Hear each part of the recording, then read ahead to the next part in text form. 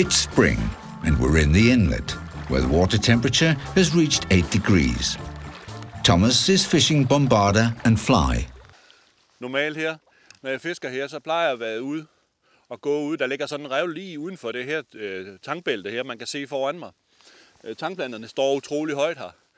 Øh, det er ikke så, der er ikke det er sådan rimelig lavvand her til morgen, og lidt på stigende vand. Men øh, det, der er vigtigt, når jeg kommer her til, det er at få kastet i det her, jeg skal til at være ude over, fordi specielt her om morgenen, så fiskene, de er bare, altså de kan gå ind imellem de her tankplanter. Så, øh, så jeg affisker altid lige det herinde.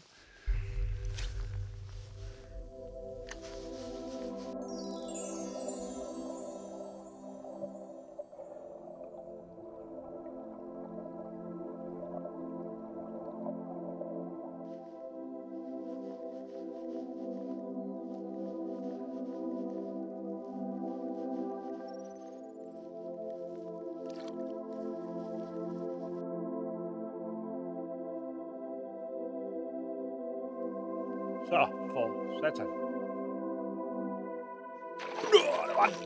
Nå, det er godt. Så. Nå, den er god. Oj, oj, oj, oj. For satan.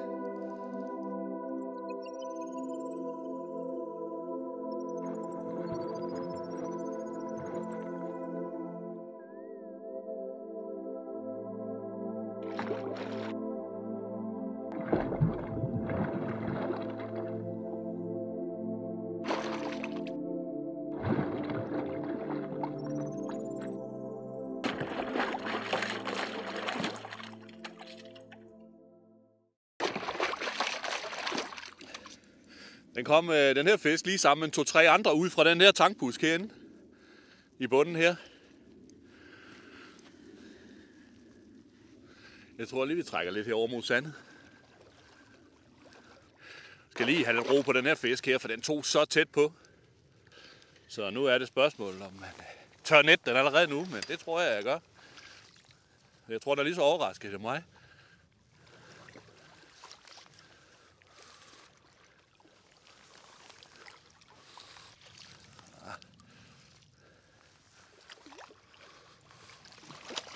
Sådan.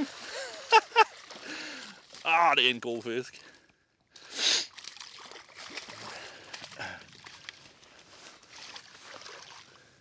Så let kan det være. Det var første kast her til morgen. Efter tre dages fiskeri uden en ordentlig fisk. Så sådan. Jeg kom lige til at bande en gang. Det må du lige se, om du kan klippe ud. Jeg prøver ellers at lade være.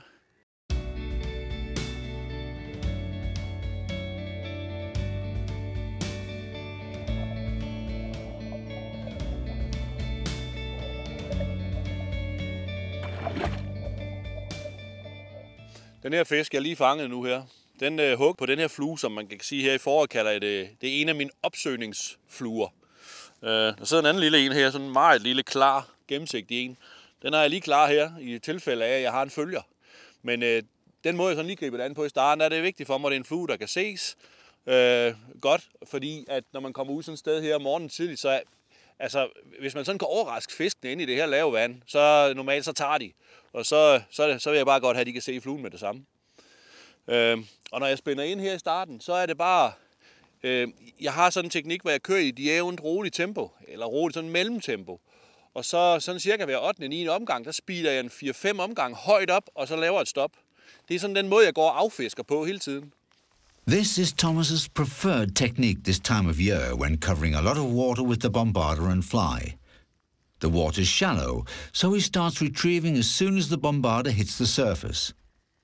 After 8 to 10 revolutions, he speeds up, and then an abrupt stop. This gives a good variation to the retrieve.